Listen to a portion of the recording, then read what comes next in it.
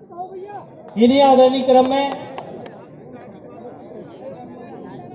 सीधा उद्बोधन के क्रम को ज़्यादा विलंब न करते हुए, क्योंकि यहाँ सारे वक्ता बोलने वाले में से हैं कि वह कोई ऐसा व्यक्ति नहीं है जिसको इस मंच से पिछड़ा वर्ग संबंध में भाषण देने नहीं आता होगा पर समय की अभाव है हमारे पास।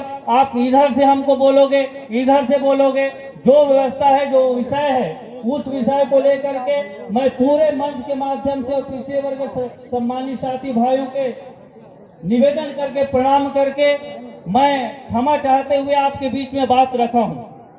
और इस मंच के माध्यम से हर व्यक्ति अपनी बात रख सकता है, लेकिन आम सभा के बाद बहुत बड़ा विशाल रैली का भी हम सबको आयोजन करना है।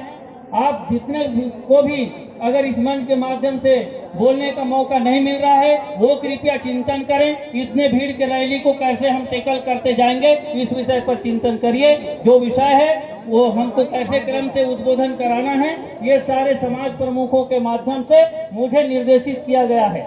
उस हिसाब से मैं इस विषय को लेकर के आगे बढ़ रहा हूँ। एक बार जोरदार ताली बजा करके हृदय से अभिवादन करिए साथियों, इन्हीं आदरणीय क्रम में मैं भाई सत्कार पटेल, जिन्होंने इस पिछड़ा वर्ग चारमा ब्लॉक में